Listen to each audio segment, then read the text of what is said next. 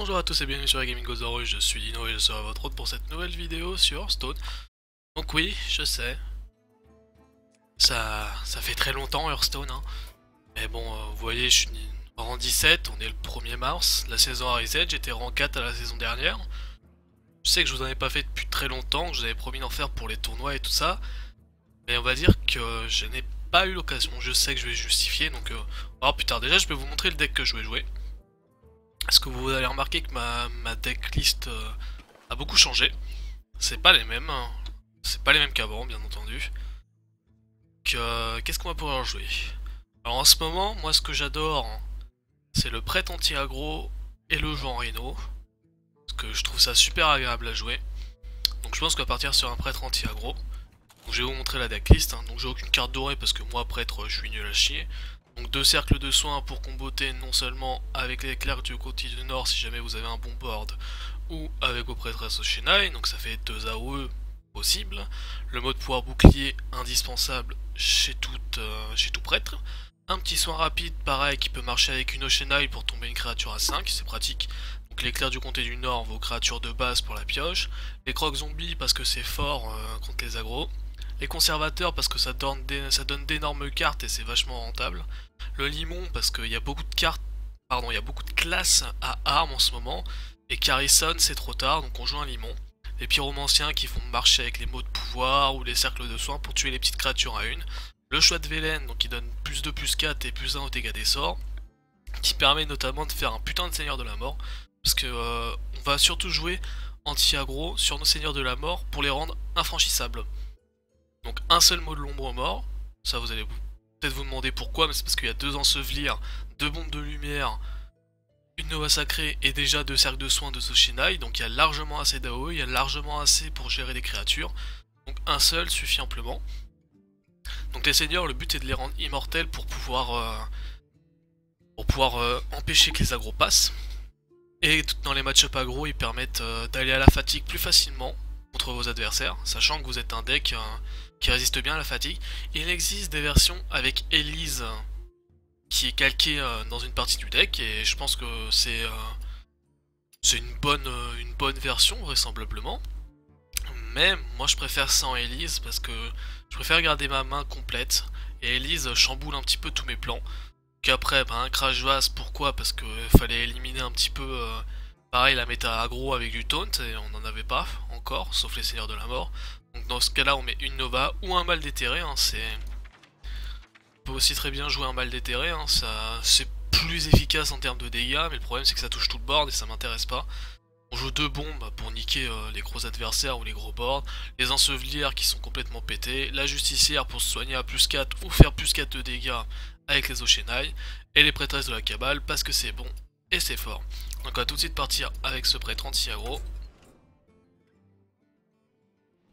Voilà, donc rang 17, 2 étoiles. Hein. C'est rang 4, euh, j'étais à 3 étoiles je crois, c'est l'équivalent. Donc vous voyez, je suis qu'à 52 victoires, hein. j'en fais pas beaucoup avec, mais ça avance. Le plus proche, c'est mon paladin, dans 40 victoires c'est bon, il est doré, ça je vous le montrerai. Android encore loin, le démo encore loin, le mecha encore plus, et le guerrier un petit peu. Mais de toute façon, pour l'instant ça va pas changer. Mais a savoir qu'aujourd'hui nous sommes le 1er mars, donc vous n'aurez pas cette vidéo le 1er mars, vous l'aurez certainement le, 3 ou le 4. Et donc on attend avec impatience le 8 mars, où est censé être, euh, être produit, ou en tout cas diffuser les nouvelles cartes euh, de la nouvelle extension qui va arriver, avec le mode standard. Probablement un zoo, hein, on voit beaucoup euh, actuellement. Donc un ancien légende, vous voyez, on tombe contre des gens qui, qui remontent je pense que le son est un poil trop fort. Voilà. Là concrètement on a une main assez dégueulasse. Ces deux cartes ne servent à rien. Et là il va nous sortir un diablotin. Non, oui, non. Je sais pas. Mais donc oui, l'arrivée du mode standard, donc un mode qui élimine Naxtramas et Gobelin et Gnome, et qui sera le mode utilisé pour la compétition. C'est-à-dire que si vous n'aimez pas le mode standard, en gros vous ne pourrez plus faire de tournoi quasiment. Parce que euh, ça sera le mode qui sera euh, bah, qui sera défini comme étant le mode standard. Et en tout cas dans les compétitions normales entre guillemets, ce sera le mode.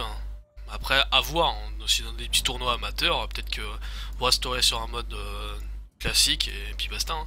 Alors le conservateur, vous allez voir, j'ai souvent soit Snid, soit Fugen et Stalag. Ça arrive super souvent. Ou le Freeze Gull aussi. Mais là, la question qu'on se pose, c'est on sait pas si c'est un aggro. Donc, est-ce qu'on prend le risque d'aller chercher Freeze qui est quand même un très bon taunt? Est-ce qu'on prend un Yeti mécanique pour jouer au prochain tour?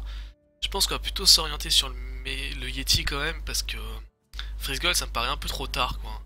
Et ça m'embêterait qu'il Si là, par exemple, on a un chef du gang des Diablotins, ça veut dire qu'on part sur du Reno ou sur de l'agro, en tout cas. Pour l'instant, on n'est pas certain. Là vient trade, ça me dérange pas. Donc voilà, c'est de l'agro, maintenant c'est décidé, il y a l'œuf nérubien. On n'a pas de silence, particulièrement. Donc là j'espère qu'il a pas puissance accablante, sinon ça trade et c'est chiant. Et dans ce cas là on pourra quand même soigner et booster notre seigneur de la mort avec un mot de pouvoir bouclier. Et quitte à faire un cercle de soins, moi ça me dérange pas. Parce que je ferai tout vraiment pour garder mon seigneur en vie. Le seigneur c'est c'est vraiment euh, la défense contre les, les lépreux. Voilà, une puissance qui va partir. Ouais, c'est chiant. Ouais, c'est chiant.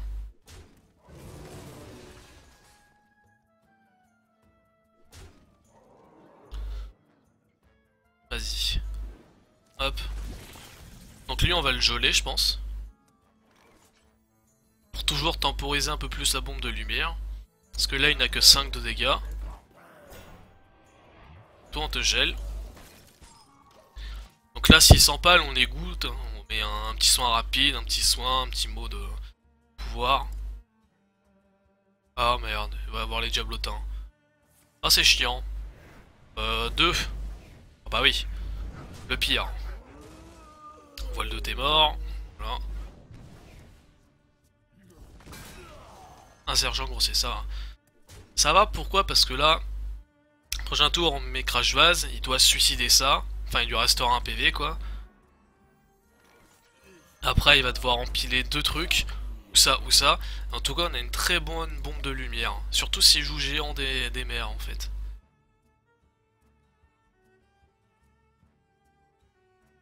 Et en même temps, son loup est, très mal placé maintenant, parce que tous les diablotins se sont mis à la suite. Alors là, par contre, s'il suicide, ouais, j'allais dire, s'il suicide tout, c'est un peu contre sa part. Alors on préférerait une Nova plutôt qu'une bombe. Hein. Et si on n'a pas le choix, on va bombe. Hein.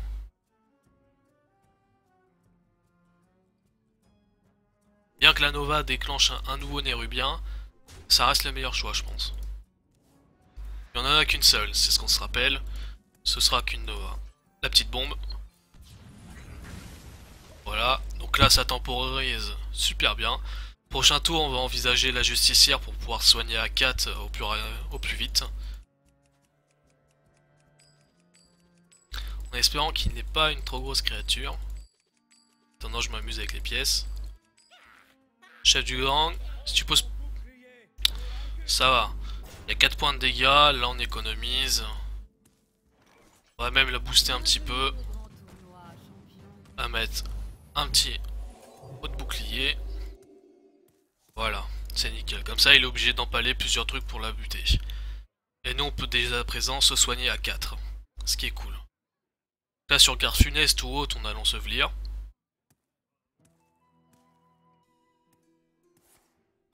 On a toujours de quoi se soigner aussi, avec le, soin rapide, on n'oublie pas.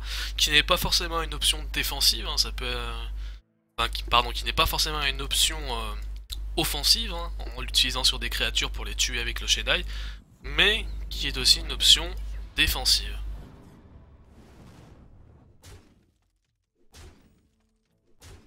D'accord.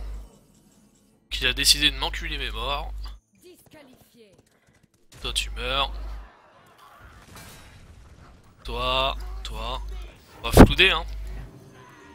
En espérant qu'il n'ait pas le létal au prochain tour. Parce que là il a 4, 4, 5, 5, 10, 12. Sur une puissante accablante il a gagné. Sur un garde funeste.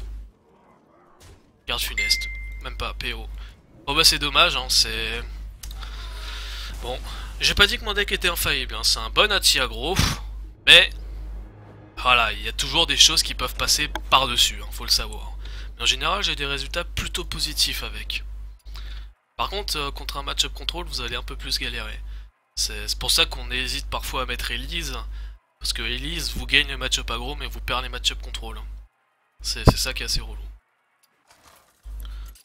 Oh, il y a des champs connectés. Regardez surtout euh, l'heure en fait. Elle est là l'heure. Alors normalement contre les matchs freeze on est assez bien parce qu'on se soigne beaucoup. Bah, regardez ça pour faire pression. Au cas où c'est un mecha ou une connerie du genre. Voilà, là on a une très bonne main concrètement. Il y a juste la justicière, euh, pardon, la prêtresse qu'on veut pas. On a une bonne main. Parce que là ça va être un Wyrm, voilà, classique. Ah Wyrm on répond Croc Zombie.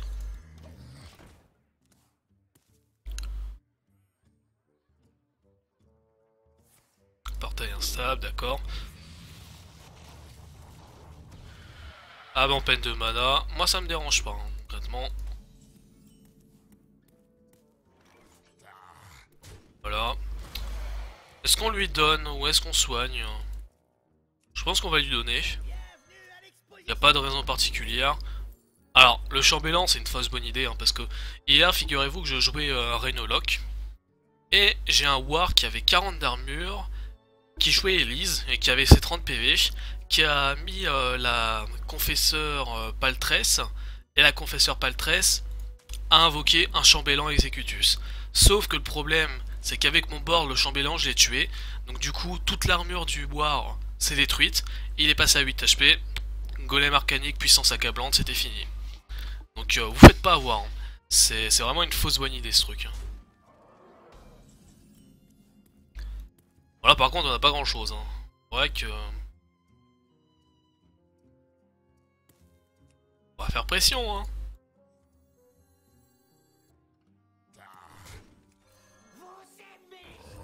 Alors, est-ce que j'aurai une autre utilité à ma pièce? Je sais pas, ça me permet de conserver une créature. Certes, je la mets à portée de pink, mais portée de pink, ça veut dire qu'il joue pour 2 mana, voilà.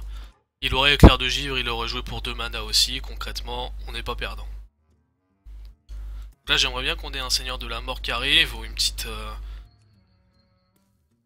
une petite euh, du comté du Nord. Voilà, il ping.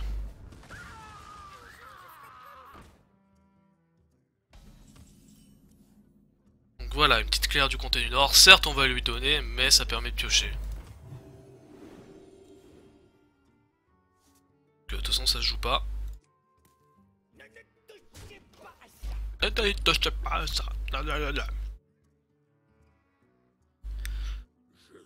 Ah, Atislam, ça c'est chiant. Voilà, il est obligé de trade, quand même. ce qui est bien, c'est que l'Atislam, on lui pique au prochain tour.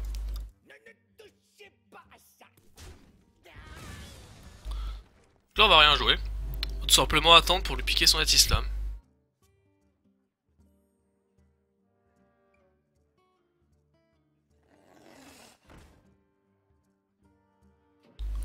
C'est pas chiant ça.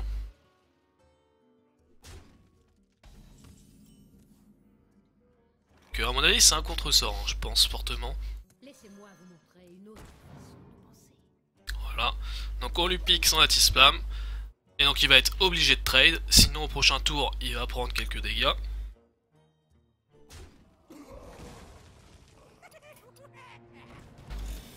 Euh, assez chiant.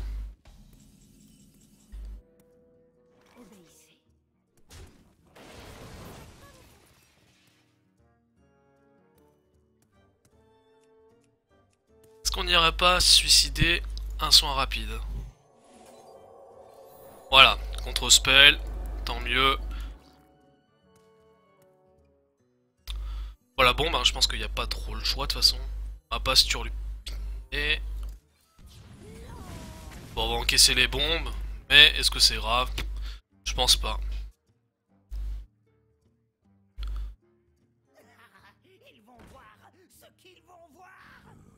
Ça c'est chiant par contre.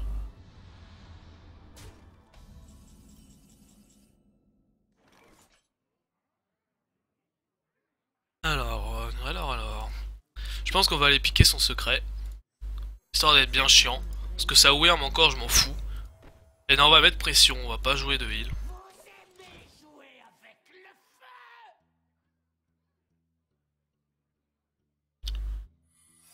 Ah voilà, son secret qui arrive à la main, qui va venir grossir sa Wyrm, sa trade.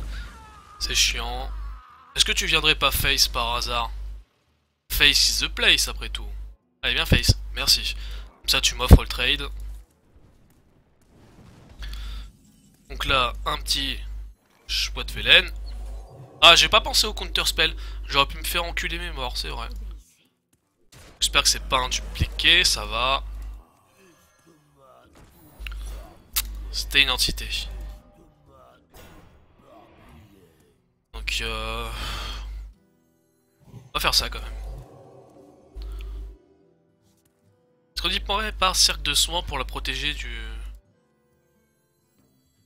Ouais, pour la protéger de quoi après tout? Il a qu'une carte en main, il va en avoir une deuxième, il n'y a pas grand chose à craindre. Et là, s'il a un Flamme Strike, par contre, j'ai envie de me tirer une balle. Voilà, donc il l'a pas. Donc là, il peut récupérer un secret. Hein. Attention à l'adjurateur éthérien qui est très très bon. Donc là, éclair de givre. Bouton Putain, quel secret quoi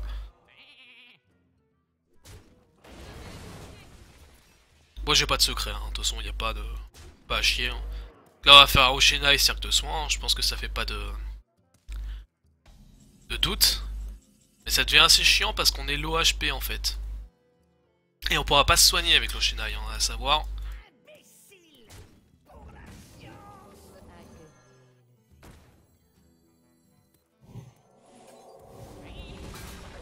Mais j'ai bon espoir qu'il ping l'Oshenai en fait. Et surtout que son jeu euh, se, calme quoi, parce que là il fait des grosses sorties euh, pour l'instant. Si ping l'Oshenai je suis bien. Pas un secret, ça va. Il a une boule de feu en main. Donc faudrait pas qu'il chope la deuxième. J'aurais bien aimé un ensevelir, mais... Va falloir se soigner. Sauf si je chope boule de feu ou éclair de givre, je suis mort. Donc c'est assez dommage, hein, je voulais montrer la puissance de ce deck, et au final je me fais ramasser le cul, donc... Euh... Bon, ça c'est la... Ouais, voilà, il a top deck. Bon, euh, on va peut-être faire une victoire quand même. ça serait cool. Et je vous assure, ce deck est bon, hein, c'est... Voilà, comble de malchance, je me fais défoncer, mais... Le deck est bon, je, vous assure. Voilà, donc euh, je vais essayer hein, d'en faire une, une petite dernière, euh, voire même deux, hein, ça dépendra de combien ça dure, pour vous l'illustrer. Là c'est vrai qu'on est tombé sur vraiment du, top decker, hein, du joueur de la droite comme on les appelle donc là, je parie, c'est un paladin secret, parce qu'il n'y a que ça de toute façon. De l'agro, de l'agro et encore de l'agro. On lève. On. Trouvera bien quelque chose pour le tour 6. Voilà, là on a une bonne main. Parce que le croc zombie va vivre à tous les coups. De toute façon, là c'est la gardienne. Même pas les cuillères. Les cuillères qui reviennent de plus en plus, je comprends pas pourquoi, parce que c'est nul à chier.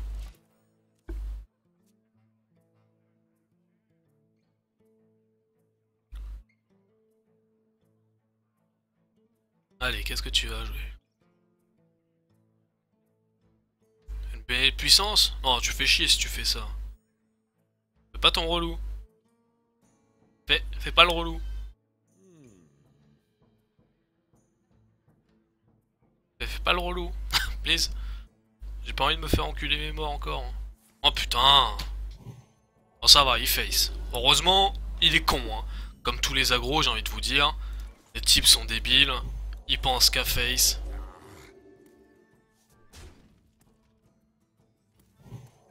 Je veux conserver à tout prix ma carte. Que c'est peut-être un peu cher, mais c'est le seul moyen.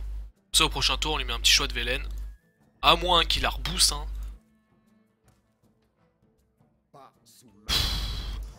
Tu commences à être chiant Jackie hein.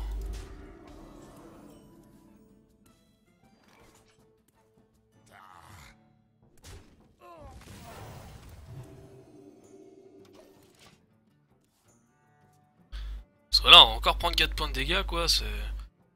Son éboladin de merde. Hein. Et là, je parie qu'il va faire, voilà... Un champion, en vrai argent, pour changer. Et on est déjà à 14 HP, un gros jeu vidéo. Crash vase. Direct. Y'a pas à chier. Et elle va encore moins sortir un protecteur d'argent ou encore pire, il va faire une Benedero. Allez, tu paries combien Coco il paye Tu paries combien Coco il paye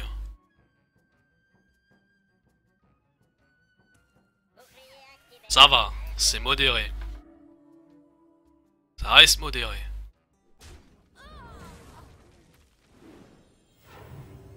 Parce que là, on va venir booster notre, euh, notre petit rip-hop. Ou alors non, encore mieux, on va jouer un seigneur de tes morts. On va venir virer ça en cas de Béné. Comme ça, il sera plus exposé, même si c'est vrai que de toute façon ça meurt sur Béné Rois. Et au prochain tour, on peut espérer lui envoyer un. Là, concrètement, on n'est pas trop mal. Il n'y a que sur euh, un Tyrion dans deux tours où on serait vraiment mal. Mais pour l'instant, ça peut aller. Consécration.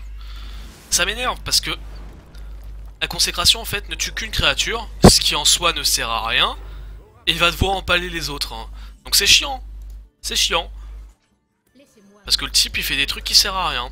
Tout ça parce qu'il peut vous faire 2 points de dégâts, voilà. C'est la logique des agros aujourd'hui. Tu peux faire 2 points de dégâts, tu les fais, tu balances tes cartes. C'est pour ça que ça m'énerve. Et vous posez certainement la question comment est-ce que je suis passé en 4 bah, J'ai joué aggro comme un connard quoi. C'est la seule chose qui marche de toute façon. Jouer aggro c'est... J'ai joué Zo et j'ai joué pas la secret. C'est la seule chose qui marchait. Quand je voulais jouer autre chose ça marchait pas. Bon, moi je peux vous conseiller que ça hein, si vous voulez monter. Euh, mon ton d'arme déjà elle est à moi.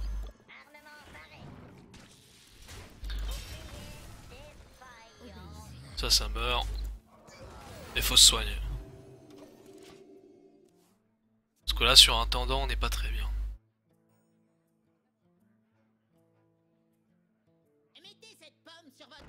Ouais, tu dois rien avoir derrière, je pense. Je n'ai rien dit. Hein.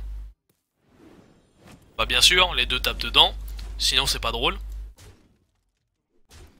Donc là, on a deux perspectives. Hein. Jouer Seigneur de la Mort ou jouer le Seigneur de la Mort. Normalement, il joue pas de silence dans ce deck. Je dis bien normalement. On va tout miser là-dessus. Hein. De toute façon, là, j'ai plus le choix. J'ai 11 HP, c'est la merde.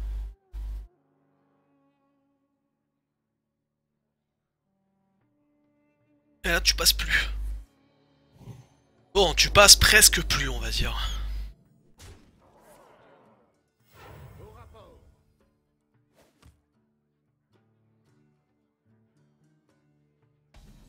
Donc là, c'est à moi de faire les trades. Non, gardez pour Tyrion, c'est trop risqué de le faire. Je suis obligé de le soigner à fond en fait. Et même sur Béné des Rois, j'ai peur, donc je suis obligé de faire ça. Parce que je veux absolument pas qu'il passe. Sur Tyrion, on a notre mode l'ombre. Certes, on a plus notre ghoul, mais on a toujours le mode l'ombre. Mais le problème, ouais, c'est que il joue trop en fait, je peux pas trade. Je peux pas trade. Ah, ça c'est cool par contre. Là, on peut remonter. Mais bien comme il faut. Euh, oh, encore mieux, un petit seigneur de tes morts. Donc là, il a 2, 3, 4, 5, 6. Il le passe pas. On va commencer à aggro. Parce que le problème, c'est que si je passe mon temps à le gérer, non seulement je lui fais pas de dégâts, mais en plus, j'avance pas dans mon jeu, quoi. Euh, je peux pas me, me, permettre. Là, il va se dire, ah, c'est cool, mais maintenant ton board il est full, tu fais comment? Si tu trades pas, tu joues plus de cartes. Voilà, donc moi je suis cool. Je suis vraiment cool. En plus je pioche. Allez, un autre taunt s'il te plaît. Ça aussi bien. Et là je peux faire des trades. Je peux me le permettre. De toute façon, même si on fait un trade, on est exposé à la consécration. Dans tous les cas, je peux faire ça. Là sur cercle de soins, on est magique. Voilà, donc la consécration, ça nous vire de cartes, mais c'est pas grave après tout. Parce qu'il viendra pas trade. Et on est à 12 points de dégâts. Non, non, il te manque un point de dégâts, tu peux compter. On à 12 points de dégâts avec Oshena et pouvoir, on est à 14 points de dégâts. Ah, pas bombe de lumière, bien sûr, ça serait se mettre une balle dans le pied. J'aimerais quand même faire attention à un truc, c'est l'égalité Kourou Vengeur, sauf qu'il n'est pas en mesure de le faire. Donc là, je vais rendre invulnérable ce Seigneur de la Mort. Comme ça, il n'est plus en mesure de rien faire. Et j'ai même envie de vous dire, pour m'assurer le board, je bombe de lumière. Comme ça, au moins, il n'a plus aucune chance de revenir. Plus aucune, je dis bien. Voilà, merci. Bon, vous voyez, mon deck, il est pas si nul que ça. Hein. Concrètement, il fonctionne. Il a bien géré les boladins. Voilà, on a fait notre victoire, hein, c'était le but tout de même. Donc euh, on va peut-être refaire une petite dernière pour espérer bah, vous montrer deux victoires euh, et pas juste deux défaites. Ce serait cool. Parce que le deck est efficace, hein, il faut juste euh, tomber sur la bonne main et c'est ça qui est assez dur. Mais les boladins concrètement ça revient en force et ça me fait chier à... C'est bon, c'est pas le même que tout à l'heure. Ça me fait chier parce que bah, dans les boladins il y a Ebola, hein, ça veut dire que.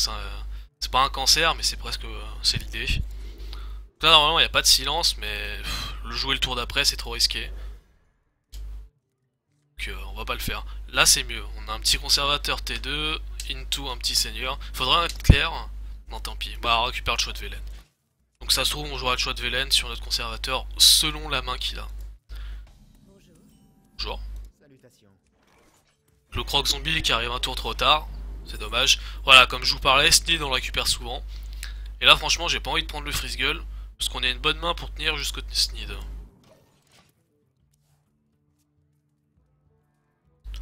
On a vraiment une très bonne main. Et à mon avis, c'est du freeze. Ou alors c'est une main très très lente. Parce que là, concrètement, je choisis Velen et je te la dégage, ta créature. Sauf s'il y a image miroir, bien sûr. Ce qui est bien chiant. Quoi, Seigneur de tes morts. Concrètement, le Seigneur de la Mort peut pas lui donner des, grosses créatures. Il y a que Il y a Antonidas et Dr Boom, c'est tout. C'est deux cartes sur 23. J'y crois très peu. Et s'il veut le passer, il va devoir claquer pas mal de choses. Donc euh, je suis assez confiant sur le Seigneur de la Mort. Dont un éclair de givre qui monte à 6. Est-ce qu'il suicide? S'il suicide pas, c'est choix de Velen, c'est sûr. Pas. Ah bah voilà, ça touche. Ah, ça commence déjà à m'énerver. Le mec qui chatte, hein. On parlera jamais suffisamment. Parce que là, bah, j'ai rien. On va le soigner lui. Pour empêcher euh, un trade facile. Ça, ça nous permet toujours d'aller gérer cette Wyrm.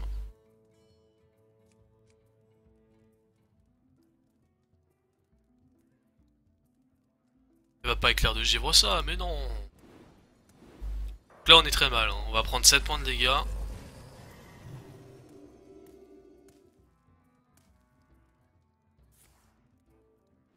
Va prendre 9 points de dégâts.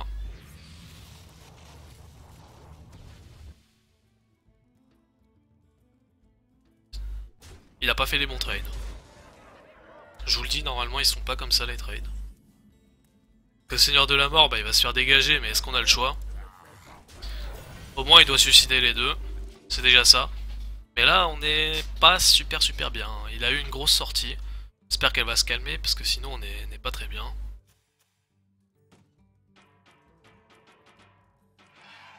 Voilà, le dragonnet c'est nul, ça va. Donc il a un dragon en main, Drake, du, Drake Azur. Qui va jouer maintenant. Non, il pioche. Donc il va venir, il va ping, et là on va pouvoir trade. Et on va lui piquer sa créature.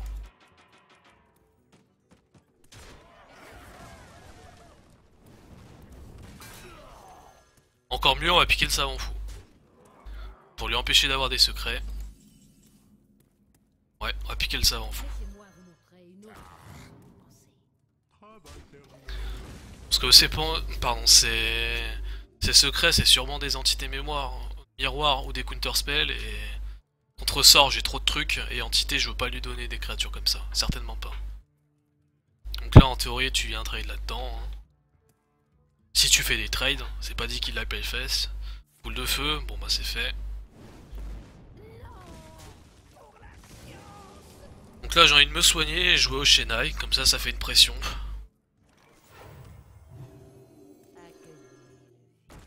On pression sur le board. Prochain tour on a Sneed, donc on est très très bien.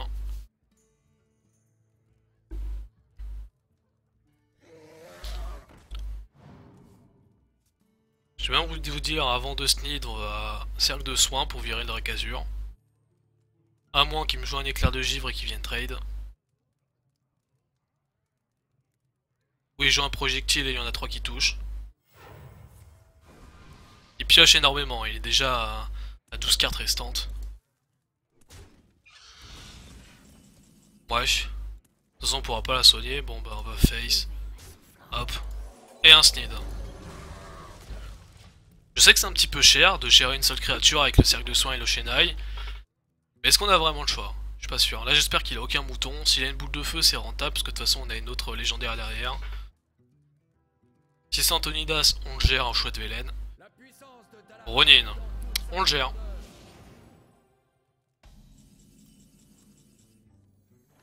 Bon, certes, il va récupérer 3 trucs, c'est chiant. Mais on le gère.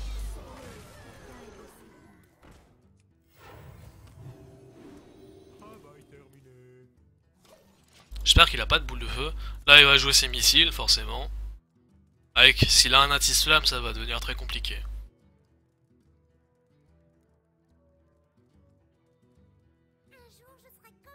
Ça va devenir compliqué si anti-slam. Ça va devenir compliqué. Parce que là, il y a énormément de points de dégâts en main.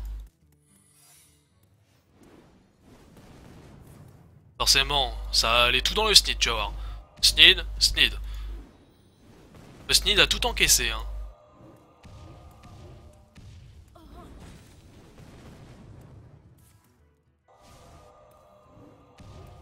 Allez, un bon hip-hop. Mimiron. C'est cool. Comme ça, on va venir dégager sa créature. On va jouer crasse vase et on va se soigner. Bon, il y a mieux que Miron, hein, je vous avouerai.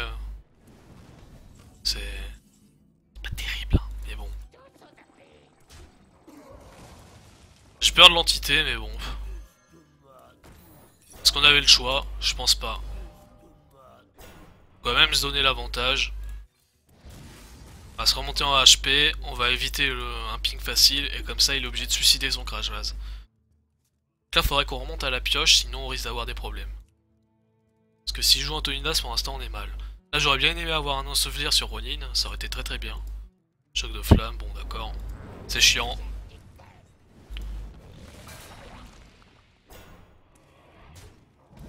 Voilà un truc solide. Un limon. C'est vachement solide ça. MDR. Donc euh, concrètement, oui, le problème de ce deck c'est le moteur de pioche. Les pioches, vous les faites que sur l'éclair du comté du Nord, sinon vous en avez pas. Et vous voyez clairement, c'est ce qui me manque. Hein. Il a pioché deux fois plus de cartes que moi. Et c'est ce qui va me tuer, je pense.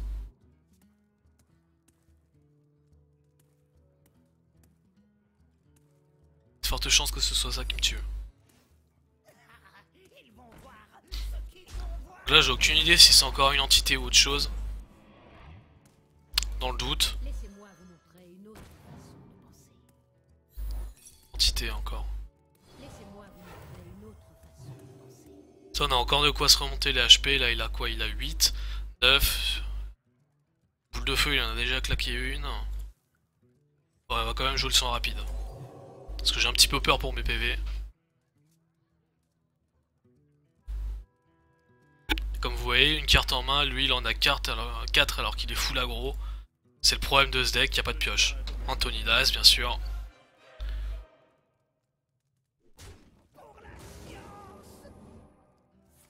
Concrètement c'est foutu. On peut concéder. Ça sert à rien de continuer. Par contre il a une sortie de port, hein, il faut se... Ça les bad manner par contre j'accepte pas. T'as gagné ouais mais t'es pas obligé de troller ton adversaire. C'est Les gens qui font ça vous êtes des fils de pute, hein, c'est tout.